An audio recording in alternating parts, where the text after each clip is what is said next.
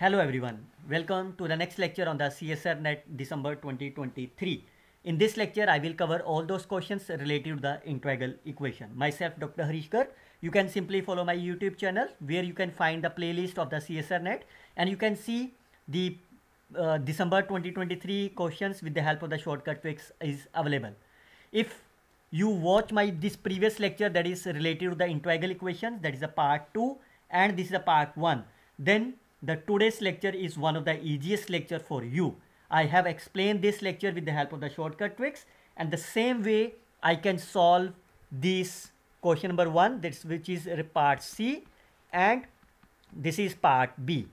How you can solve this question within a 10 to 15 second that is a very very simple if you watch my these two lectures before the examination. Anyhow if you don't watch it, you can watch it now so that you can learn the tricks and solve the question in a very simple manner. So let's start with this question. Now you can see the limits are my finite. So your target is to convert this into system of the equation. Fine. Once you know the system of the equation, you can get your answer very easily. How you can solve that? You can compare this equation with f of x plus lambda times kernel of x comma y and y of t dt. Fine. Limits are from say a to b. So can you find the value of the k of x comma y? You can see this is a x into t. Fine. This value of lambda is my 3 now since it consists of only the single variable x and t fine so then your this A is my 1 minus lambda times f this and this B is my integration of g of x into fx. That's over. That's over. You can solve this in a very simple manner. Limits whatever the limits are there. In this particular example here. Now the question arises is what is the g? You can see about these two values. The one function which is a function of the x I call as a f f1 this is my g1 fine. If you have the two function like x uh, x1 t1 plus x2 t2 and here. Now what is the alpha 1 1 the first parameter is with respect to the g. Fine. This is with respect to the f. Now you can see how you can solve that as g into f. That is with respect to the x. You can solve this with respect to the x. So what is that? Is x into x is x square limits are my 0 to 1 so what is the answer is 1 over 3 can you find the answer of this? 1 minus 3 1 over 3 is equal to 0 fine. So this becomes my 0x is equal to b. Now they have admit at least one solution. That means either the unique solution or infinitely many solution. But unique solution will not be possible. So only infinite solution. When it will be the infinite solution? When your b what is the g is? Of here. Gx fx is my here. It is unknown to me.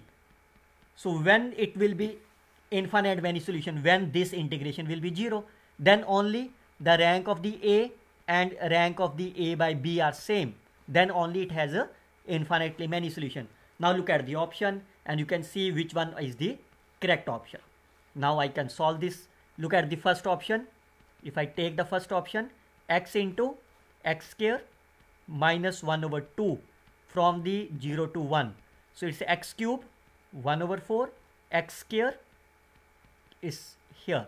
So what is the answer of this is my 0. So yes the first answer is the correct option. Look at the second option x into e raised to power x. So what is the integration of this x minus 1 e raised to power x from 0 to 1 which is non-zero. So it means this option is cancelled out. Look at the third option, integration of the x into 2 minus 3x. So what is the integration of that? It's a 2x, that means x square. It's a 3x square. So x square means x cube over 3 from 0 to 1. So clearly say it is my 0. Yes, this is also the correct option. Look at the fourth option, x into x minus 1. So it's a x square, that means x cube over 3 x means x square over 2 over the domain 0 to 1 clearly say which is non-zero. So the right answers are my a and c are the correct answers you can see once you can simply change into the system of the equation you will get as the answer very easily. I recall you what is the concept is. You can change into the system of the equation where a is my 1 minus lambda times f11 where alpha 11 is integration from a to b. First part is my g. This is my g1 into f1 of dx fine? And how you can find the value of the b?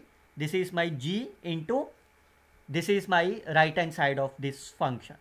Remember this is my g1 and this is f it is not that f it is a right hand side function.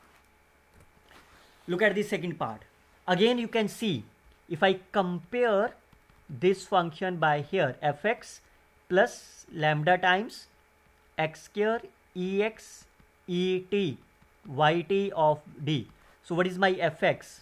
fx will be 0 find what is my kernel is? x square e raised to power x into e raised to power t. Fine. Your target is to change this into the system of the equation. Fine.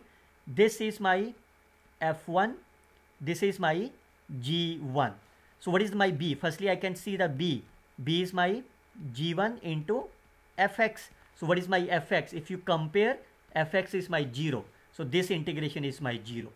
Fine. Now when the ax is equal to 0, it admit a non-zero solution. When only the determinant of a will be 0. Fine. So that means what is the a?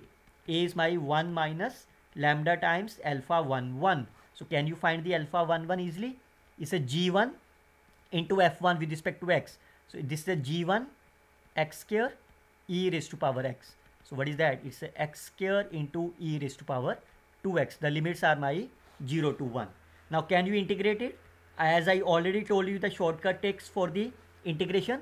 You can take the polynomial. You can find the derivative until it becomes a 0. And on this side you can take the integration. 2x by 4, 2x divided by 8.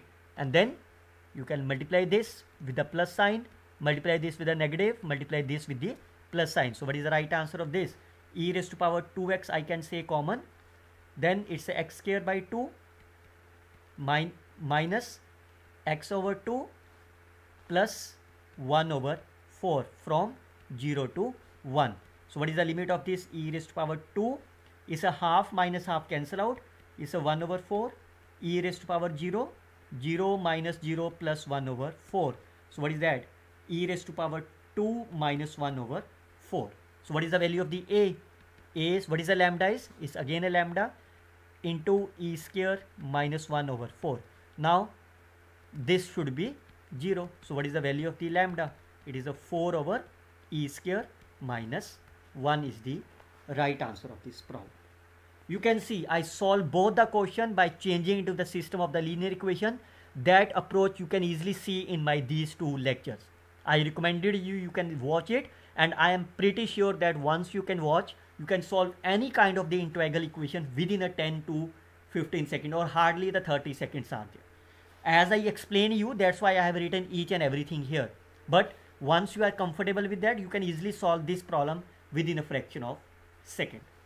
You can join my WhatsApp group also where you can discuss the various tricks by scanning this barcode. I will come up with my next solution. Till now, you can simply like and share and comment on videos. Best of luck students. Happy learning.